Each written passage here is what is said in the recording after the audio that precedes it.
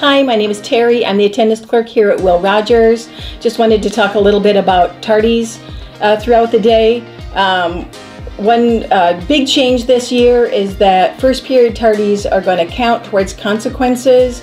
So we want to, uh, just a big reminder to uh, get to school on time, uh, be in your class uh, by 8 o'clock in your designated spot, and uh, if, if you're tardy throughout the day, you'll be sent to the office for a tardy pass. Those are automatically updated on your uh, student account, on your attendance account. And when those tardies are posted, a notice goes out to the uh, parent or guardian on um, your attendance uh, profile. So we want to make sure, remind you to be in class. Please don't be tardy. We don't want to see you miss out on things like lunch or your after school time or the fun activities here at Will Rogers.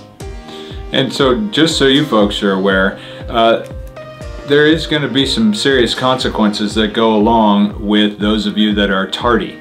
And so your first, second, and third tardy, and that's throughout the day, not just to one class, but your first three tardies, those are warnings. That's your sign to, hey, get to class on time, figure this out. If you get a fourth tardy, then you have a lunch detention.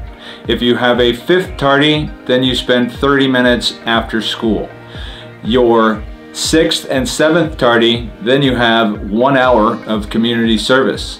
If you continue to be tardy and get an eighth tardy, you have five days of lunch detention in a row and you also have Thursday's two hour community service. So the whole point of this folks is get to class on time.